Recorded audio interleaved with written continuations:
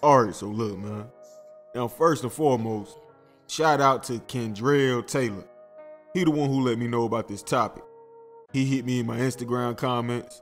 Did you see that interview LaDude did on Boss Talk, talking about three? Also confirming things you say on your channel. So I went over and checked it out. Haven't seen the full interview yet, but I did check out two clips of it, and we're gonna talk about it. But just like Kendrell, man, if y'all see a topic you want me to speak about, just let me know. Now, I'm not promising nothing, right? Let's get that out of the way right now, so calm down. But if it's something that catch my interest, hey, we gonna talk about it, and I'ma shout you out in the video. But uh, yeah, a few days ago, I made a video about Mo3 and his ops, Yella Beezy and his homeboy. Pretty much breaking down my opinion of why the beef between Mo3 and them never ended. You know, I broke down the boxing match that never happened, showed a few receipts. Pretty much a summary of that video. Mo3 challenged both of his ops to a boxing match, 250,000 on the line, and whoever wins, donate some of that money back into Dallas, Texas. But Yella Beezy declined that match, and his homeboy did as well, the Freddy Krueger dude.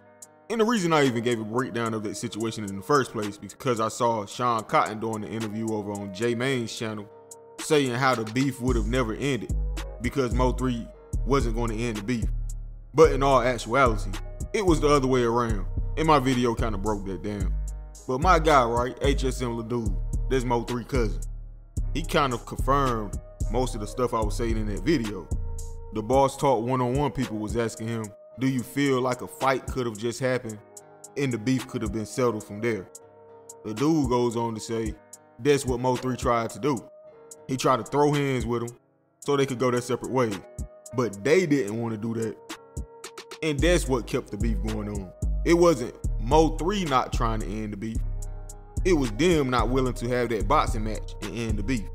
I even showed y'all screenshots of Yella Beezy homeboy saying how even if they have the boxing match, it's still gonna be smoke. So again, for all of those people, Teezy, you don't know what you talking about. You ain't from Dallas. Me and LaDude from Dallas. And he was there. Now what, Smarty Pants? Teezy, you not even from Dallas. Man, and y'all not from Chicago, so don't never let me hear you say nothing about Lil Durk.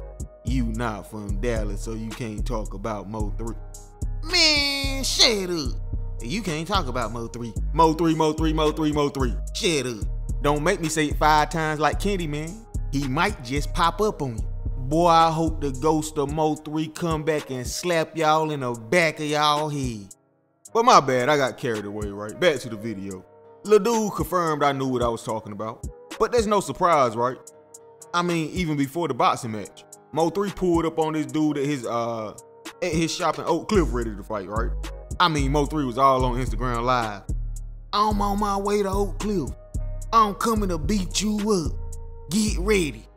Man, they look like one of those old cutscenes from WWF Attitude. I'ma beat you up, brother. And then Mo3 get there. Here he come walking out the shop with a gun in his hand about as big as Mo3. So we already know he was bluffing about that boxing match, right? He told Mo3, put up $250,000 and we could set this boxing match up in five days. Mo3 put that money up in five hours. And you never heard that guy say anything about a boxing match again, right? He backed out of it. His exact words was, I'll get in the ring for that money, $250,000. We can set it up in five days. And within the next five hours, Mo3 responded, I got my money, T. Diddy. Come on, let's set it up. And it never happened. So that's that. LaDude said it for himself. I mean, the guy was with Mo3 when Mo3 tried to uh, fight him at his shop. Hell, LaDude even claims that he pushed uh, Yella Beezy homeboy that day. So he would know better than all of us. But yeah, I just hate that narrative, man. Everybody trying to make it seem like Mo3 was starting beef. Mo3 was antagonizing beef. Mo3 never was willing to end the beef. Man, Mo3 was dissing them. They was dissing Mo3. Some people from Mo3 side, their bodies was getting dropped. And the same for their side. The only difference here is Mo3 tried to find a solution. $250,000 boxing match. We walk our separate ways. But they didn't want to accept that boxing match and end the beef. I know it's easy as hell to try to rewrite history when somebody is dead and can't really speak for themselves. But man, if it's one thing about Mo3, that dude put everything on the internet. So even though he's not here, his point could still be proven on his behalf. But yeah, man, cut it out. Y'all be trying to make this guy sound like the most evil person that ever walked the streets of Dallas, Texas. Putting all of that blame for that beef on him when he was the one that was actually down to end it. I mean, Yella Beezy fought Rainwater. Me, by myself. I beat him up. That's right, baby. You better tell him. I beat him up. That was Mo 3 favorite part right there. If he really wanted that beef to end, he could have just fought Mo 3. All of those dudes should be held accountable in that situation. Equally, too. Don't try to lie and make it seem like he was hating and jealous of y'all. Oh, he was jealous of me. Jealous? Man, soon as Mo 3 sold out the House of Blues, the first thing y'all could do was hate. Let's be real. Oh, that's just the House of Blues. Well, go sell it out then. How about it? If we talking about jealousy, let's be real. Mo 3 Shot Us Forever album came out. Oh, this one sounds just like his other ones. But he jealous. Okay, this dude had two albums chart on Billboard's top 200 in one year.